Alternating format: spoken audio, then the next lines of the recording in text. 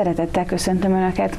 Mai nap a hivatásról fogunk egy kicsit beszélgetni, művészeti hivatásról, szerzetesi hivatásról, hiszen most már egy ideje mondhatjuk, hogy rendben vagyunk mindannyian, de Orsolya nővér még inkább rendben van. Szervusz Isten hozott Fecske Orsolya, festőművész, e, szociális testvérek társaságának a, a tagja, szerzetes nő. Mi volt előbb, a, melyik meghívásod volt előbb? A művészetre volt előbb meghívásod, vagy, vagy Isten szolgálatára? Én úgy gondoltam nagyon sokáig, hogy a művészetre, mert az egészen egyértelmű volt, egész pici koromtól fogva rajzoltam, festettem, és ez volt a legkedvesebb foglalkozásom. A szüleim ezt nagyon hamar észrevették, és ennek megfelelően alakult az életem is. Kicsi koromtól fogva rajzoltam, és aztán a gimnázium elvégzése után is ezt a pályát választottam. És csak most, hogy szerzetes vagyok, jó pár éve már, kezdtem el azon gondolkodni, hogy vajon hol is vannak ennek a szerzetességnek a gyökerei. És most kezdtem rájönni, hogy a kettő párhuzamosan futott egymással. Mert igen, nagyon fontos volt az, hogy, hogy bevezetődtem a szépség világába, hogy annyira sok mindent tudtam tanulni ezen keresztül, hogy a szüleimnek köszönhetően édesapám művészeti író, tele volt a házunk albumokkal, és én egész kicsi gyerek koromtól fogva ezeket nézegettem, és nagyon jó minőségi művészet volt az, amin fölnevelkedhettem. Tehát tehát rá tudtam látni arra, hogy ez, ez micsoda óriási jelentőségű. Ugyanakkor később jöttem rá arra is, hogy bizony a nagyszüleim hite és imája mennyire segített engem abban, hogy, hogy a szerzetesi hivatásom az Istennek szentelt életem alakuljon. Nincs is olyan sok ideje, hogy rájöttem, hogy az a dalocska, amit az én nagypapám, aki három éves koromban meghalt, és akivel nagyon-nagyon szerettük egymást, Szóval, amit ő tanított nekem, és amit minden egyes templom előtt el kellett énekelni, az mennyire nagyon fontos volt az én életemben, ez egy ima volt, és azt gondolom, hogy a nézők biztos ismerik ezt az imánt, hogy Jézuska, Jézuska, figyelj most rám, kis szívem, hű szívem, szeret igazán. Szívemet egészen neked adom, szeres te is engemet nagyon-nagyon. És ez az egyik kedvenc dalocskám volt, amit tényleg sokszor énekeltem. És a gyermeknek az imája, amit egészen komolyan gondol, meghallgatásra talál. Szóval most kezdem felfedezni, hogy azért itt bujkált ez, a, ez az irány is. És nagyon komolyan. És végig kísérte az életemet. És akkor a középiskola után elmentél grafikusnak tanulni, művészettörténésznek tanulni? Uh-huh. A gimnázium elvégzése után egy évet a Dési Huber körben rajzoltam, és nagyon-nagyon sokat tanultam ott. Korka György művész úr volt a, a tanárom, utána pedig a Szombathelyi Tanárképző Főiskolára mentem rajzszakra, és itt szereztem aztán rajzdiplomát, szintén nagyon nagyon jó tanárok keze alatt, Horváth János, Tóth Csaba, Kislégi Ádám keze alatt tanulhattam. És közben és párhuzamosan már, már kapcsolatban voltál a rend, későbbi rendeddel? Igen, ez nagyon érdekesen alakult. Tudnélik, a főiskolai nyarakon egy nagyon-nagyon kedves mesteremnek segíthettem, mint segéd, a falfestményei elkészítésében Patai Lászlónak hívják, a Vecsési Sándor Bazsonyi Arany mellett őket komolyan a mestereimnek tartom, őt is, Patai Lászlót is, és nagyon-nagyon sokat köszönhetek nekik. És ő fogadott föl, mes, föl segédként a többek között a Békés Csabai Jaminai templom festésekor, illetve a a Ráckevé keresztelő Szent János templom festésekor, és amikor ez utóbbinak a segédje voltam, egyszer egyedül voltam fönn már az állványokon, és akkor éreztem úgy igazán rá arra, fölkészülendő a bérmálkozásra, mert akkor készültem rá éppen, hogy milyen jó lenne az egész életemet ebben a munkában tölteni, milyen jó lenne festeni az Isten templomában, de úgy, hogy egészen odaadom neki az életemet. És ez egy évvel a Szombathelyi Tanárképző Főiskola befejezése előtt volt. És mit ad Isten, ugyanabban az évben egészen véletlenül egy vonatút alkalmával megismerkedtem egy szociális testvérrel, aki elhívott az ottani imakörükbe, és tulajdonképpen így kerültem a társasághoz nagyon közel, és ez a kapcsolat már végig kísérte, utána egészen a belépésemig az életemet. És hogy tudott, vagy hogy tud ma is párhuzamosan folyni a két, a két hivatásod? Tehát a Szociális Testvérek Társasága gyakorlatilag meg sem mondaná rólatok az ember, hogy, hogy szerzetesek vagytok, hiszen nem habitusban jártok, nem, nem rendi ruhában jártok. Mi a, mi a karizmátok, ami, ami mellett ugye elfér az is, hogy, hogy te magad még mindig festesz, kiállításaid vannak? Igen, sőt maga a közösség erre a küldetésre küld engem. Nagyon érdekes, hogy amit előtte tanultam, ami, ami a szakmám, az lesz aztán az én küldetési területem és az apostoli küldetésem, hogyha így tetszik. Ugye a Szociális Testvérek Társasága az egy pápai jogú apostoli élettársasága, tehát az apostolkodásra küldettünk. Nagyon egyszerű egyébként, hogy hogyan férhet meg ez a kettő egymás mellett, és még nagyon sok minden más munkaterület, amin a közösség dolgozik, hiszen a közgazdásztól a, az orvosig, az ápolónőig, a gyógypedagógusig nagyon sokféle területen dolgozunk. Ez egyetlen egy szó a szeretet. Margit testvér, az alapítónk, a megszentelő szeretet küldetésébe állította be a közösséget, ezzel minnyájunkat. És a megszentelő szeretet a Szentlélek.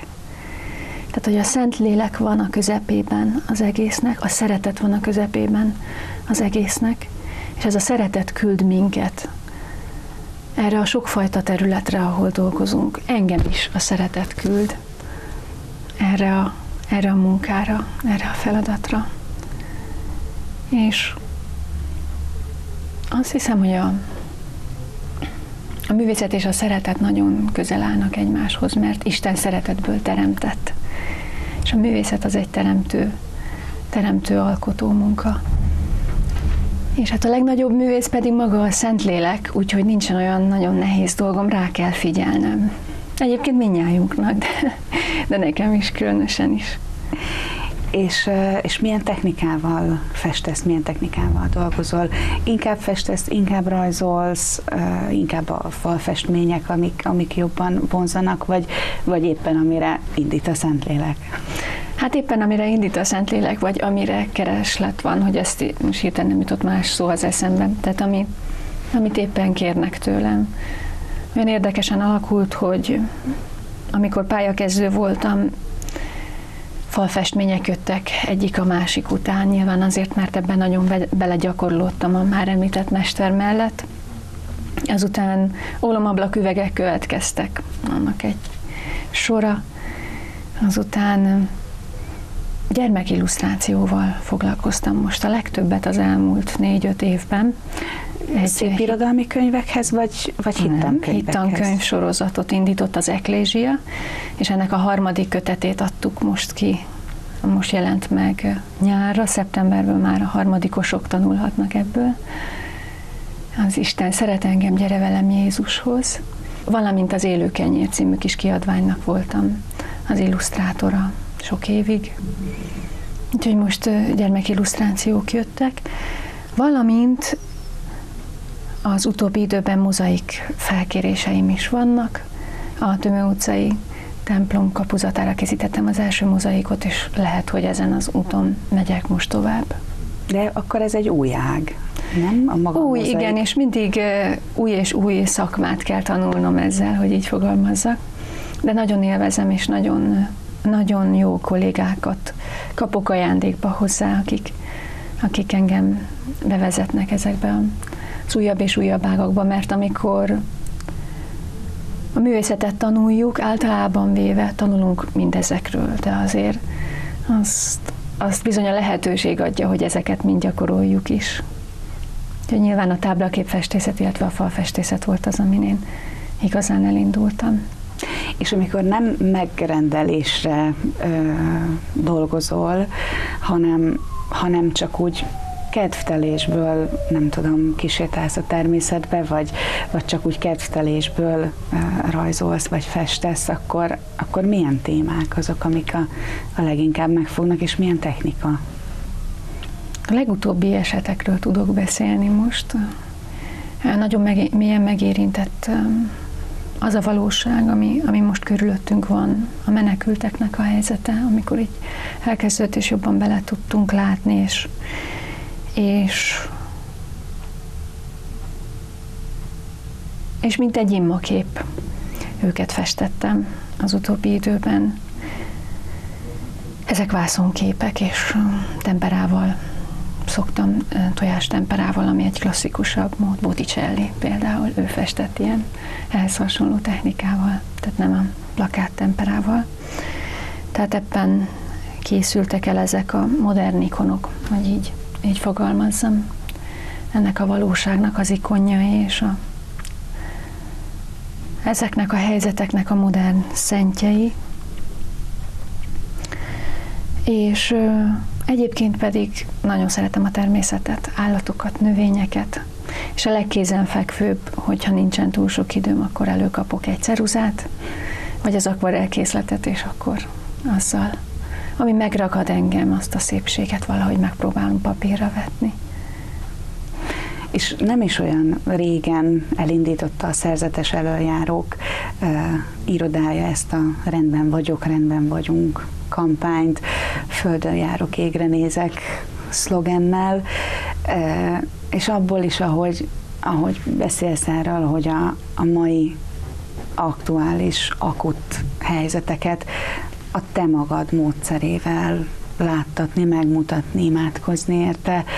Hogyan tudtok ti szerzetesek benne lenni a világban. Én magam ezt tudom és tapasztalom, de nagyon sokan vannak, akik, akik számára teljesen idegen világ ez, hogy mi az, hogy szerzetes, és akkor ti most be vagytok zárva, vagy el vagytok különülve mindentől, vagy, vagy, vagy ho, hogyan is élitek az életeteket. Hogyan tudtok bekapcsolódni a, a, a társadalom mindennapjaiban, hogyan, hogyan állnak hozzátok a, az emberek? Ezer szálon kapcsolódunk be be a mai társadalomba, az is volt a cél, hogy a társadalmon belül maradjunk, hogy így fogalmazok. Nyilván mindenki a társadalmon, az emberi társadalmon belül marad akkor is, hogyha klauzúrás szerzetes lesz, és annak egy, egy részét képviseli, és a maga imáiban viszi oda az egész társadalmat az Istennek, ami egyébként nálunk is megvan, mert, mert ezt a fajta életet, azt, hogy egyszerre vagyunk jelen, tényleg a társadalomnak nagyon sok szegletében. Itt említettem az előbb, hogy mennyiféle területen dolgozunk, de most hirtelen nem is tudnám felsorolni. Volt köztünk polgármester, akkor tanárok vannak köztünk, időseket gondozó, ápoló testvér van köztünk, óvodában dolgozó testvér van köztünk, nagyon, nagyon sokféle területen vagyunk ott, és ez is a célunk, hogy ott legyünk az emberekkel, ahol épp ők vannak. De mindezt egy olyan mély szerzetesi lélekkel kell tennünk, ami egészen az Istennel való személyes és mélységes mély kapcsolatból táplálkozik. Azért, hogy megfelelő eszközök tudjunk lenni ha belegondolunk, nem különbözik ez a keresztény élethivatástól, de hát a szerzetesség a keresztény élethivatáson belül van, csak próbálja azt egy radikális módon megélni a maga hívásának megfelelően, ami az egészen az Istennek adott élet. Tehát az Istennel való mély napi kapcsolatból, amit a közösségben élünk meg, és ez egy nagyon fontos része az életünknek a közösség, abból megyünk ki a világba, és próbálunk az Isten, az Isten jó eszközeivé válni, hírnökeivé válni, fákjavívőkké válni a magunk területén. Úgyhogy nagyon sok embert érünk el. Általában egy esti vacsoránál derül az ki, amikor beszélgetünk, hogy, hogy hányféle embert értünk el aznap, és hogy kikkel volt kapcsolatunk. Én most, amikor idefelé jöttem, kórházból jöttem, egy kötözésről, ott találkoztam, beszélgettem emberekkel. Aztán kilépve a kórházból valaki megszólított az utcán, elmondta a baját, nem is tudta, hogy én apáca vagyok, vagy szerzetes vagyok. Hát, tehát apáca, ezt így szoktuk mondani, ugye, mert így értik meg az emberek. A szerzetest nem mindig értik meg elsőre. Szóval nem tudta, hogy én egy Istennek szentelt személy vagyok, de amikor mondtam, hogy fogok imádkozni ezért a dologért, majdnem elsírta magát, és azt mondta, hogy ez nagyon-nagyon fontos neki. És akkor már itt rögtön mondtam is azt, hogy hogyan viszonyulnak hozzánk az emberek így. Mindenki vágyik rá, hogy, hogy az Istennel közelebbi kapcsolatba kerüljön, és ennek mi ennek mi hogy így mondjam, jelképei vagyunk, egy szerzetes, egy pap, egy Istennek szentelt személy, mindig felhívás arra, hogy létezik egy másik világ, hogy létezik Isten világa, és létezik vele való kommunikáció és személyes és mély és szerető kapcsolat. Találkoztam tehát ezzel az illetővel, aztán találkoztam egy, egy hajléktalan fiatal emberrel, és beszélgettünk, és ez még csak a mai reggel, reggel héttől és aztán hány, hány és hány fiatallal, kisgyerekkel, felnőttel találkozom a munkáimon keresztül. Lehet, hogy soha az életben nem fogunk személyesen találkozni, de a munkáimon keresztül nagyon sokukkal találkozom. És mégiscsak kommunikálunk egymással a szavak nélkül is. És igazság szerint ebben nem én vagyok a lényeg, hanem, hanem az a lélek, aki küld és aki indít. És tulajdonképpen ez az én szerzetes, szerzetességemnek is, meg minnyájunk szerzetességének a lényege is. És hol találkozhatnak legközelebb a munkáiddal, nem a könyvekkel, hiszen azzal az iskolában találkoznak.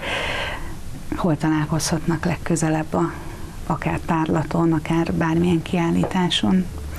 A Püspökkari titkárságnak az irodaépületében, tehát a, a Magyar Püspökkari konferencia irodaépületében, a konferencia termekben van egy állandó kiállításom, illetve az ottani kis kápolna tanító Krisztus képével és, és Szent Gellért képével az, az én munkám, legalábbis ami a, a díszítést illeti, az ólomüveget, illetve a, az ott levő feszületet.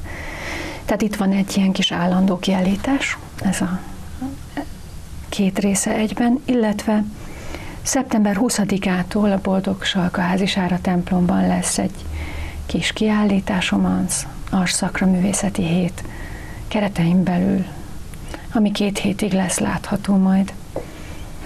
Hát itt lehet találkozni ezekkel a munkákkal.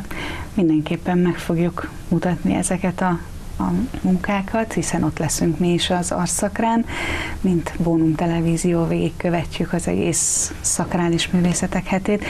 Orsolya nővér, köszönöm szépen, hogy itt voltál velem, és, és mindezt megosztottad mindkét hivatásodról. Köszönjük szépen. És most pedig nézzünk meg egy olyan szerzetesi életet, amely igazán példaértékű lehet nem csak nekünk tanároknak, vagy irodalmároknak, de azt gondolom, hogy mindannyian sok erőt meríthetünk Jelenics István professzor életéből.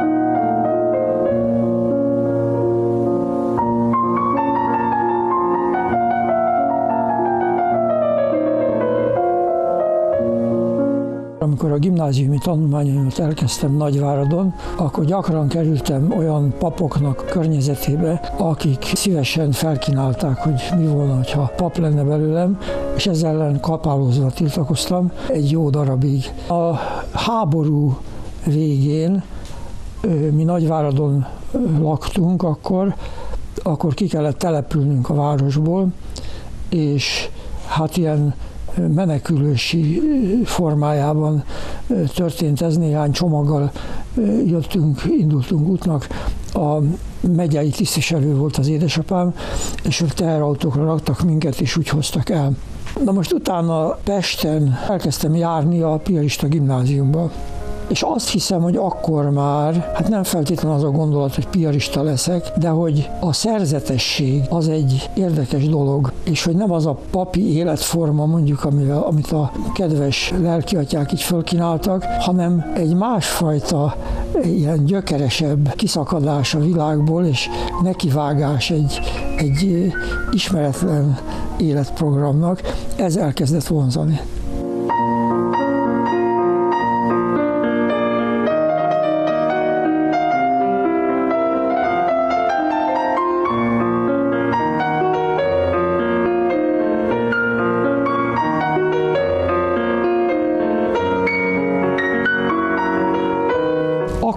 Amikor én beléptem a rendbe, akkor azzal a gondolattal léptem be, hogy könnyen kicsúszik a talaj a lábam alól, és most már van egy diplomám, de lehet, hogy pont egy olyan rendbe lépek be, aminek két év múlva vagy öt év múlva már nem lesz diákja, és akkor én villanyszerelő leszek, vagy nem tudom, valami más, mert eh, nem tudok hogyan megélni ebben a szocializmusban. Mégis hát beléptem, mert valahogy akkor ez egy elég fontos ilyen felismerés volt, ami akkor tisztázódott bennem, hogy a számomra nem a tanítás a legfontosabb most már, hanem a piarista rend. És voltak éppen annak a sorsába akarok osztozni. Tehát ha a megszüntetés lesz a sorsa, akkor vállalom a megszüntetést, és akkor nem fog tanítani. Maga a növendékség is érdekes volt, mert hiszen 55-ben léptem be, és 56-ban volt az 56-os forradalom, ami a szomszédunkban volt, vagy tört ki a rádiónál, hiszen mi ott voltunk a rádió mögött. Hát valahogy kialakítottuk azt a felfogást, hogy hát egy kommunista világban is, vagy egy kommunista diktatúra idején is szükség van keresztény értelmiségre, amelyik nem fog tudni, mint keresztény értelmiség föllépni nyilvánosan, vagy valami, de nem is feltétlenül illegalitásban kell tevékenykednie, hanem keresztény lelkiismerettel kell tevékenykednie egy olyan világban, amelyikben nem keresztények élnek.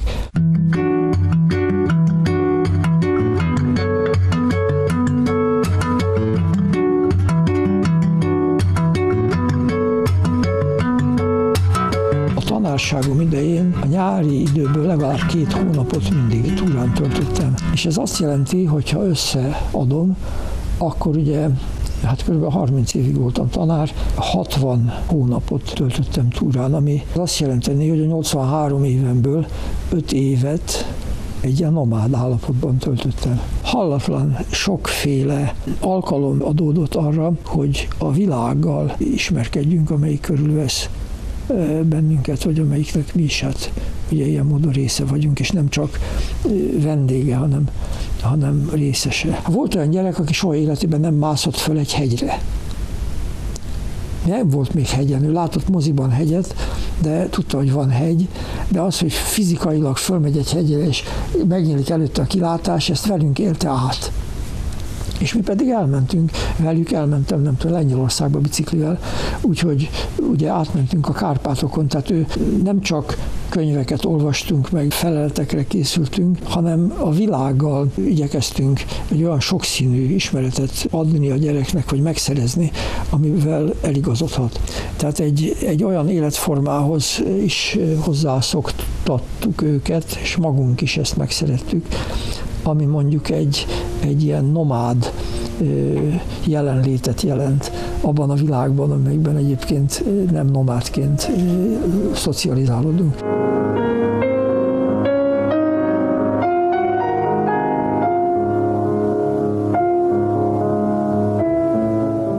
Üzembiztos hétköznapjaim nincsenek. Most már nincsen órarendszerű elfoglaltságom, de nagyon sok részben volt diákom van, akiknek az élete fölkínál olyan helyzeteket, amikor rászorul arra, hogy segítséget kérjen, és akkor ebben rendelkezésre szoktam állni. Aztán vannak ezek a mondjuk művelődési, közművelődési feladatok.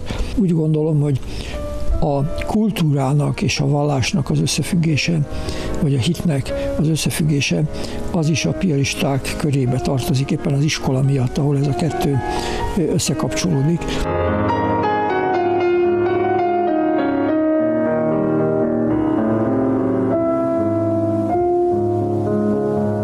Szóval nem, nem azt jelenti, hogy én azt mondom, hogy legyen mindenki szerzetes, mert nem biztos, hogy mindenkinek jó. Nekem jó volt, és világért se szeretném, hogyha újra kellene kezdeni az életet, egy másik pályára menni, hogy azt is kitapasztalhassam, mert ez bevált.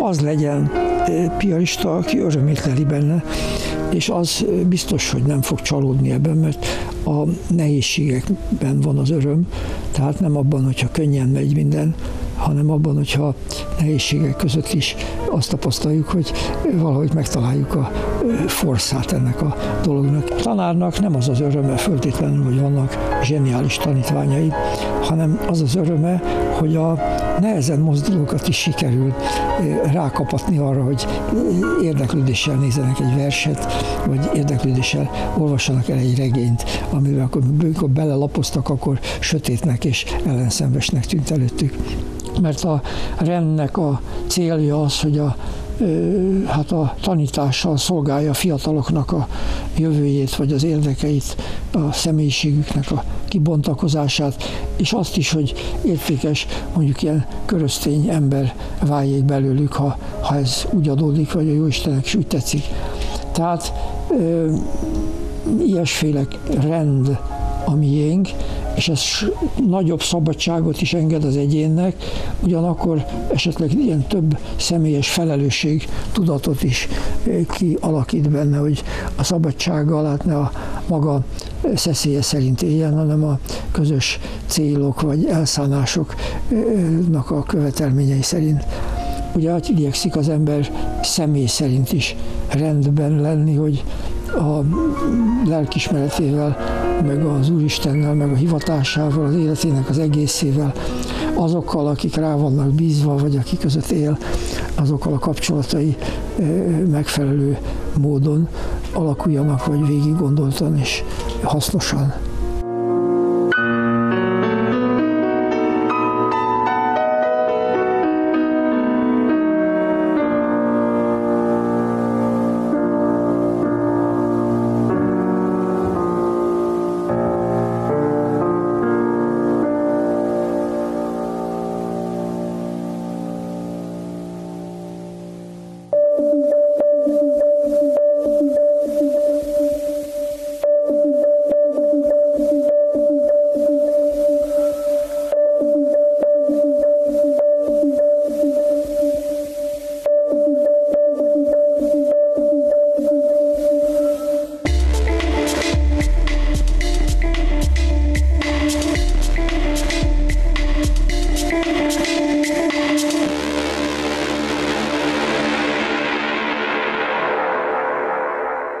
Köszönöm, hogy ezen a héten is velem tartottak, tegyenek így a jövő héten is, akkor is várni fogom Önöket hasonló szép témákkal.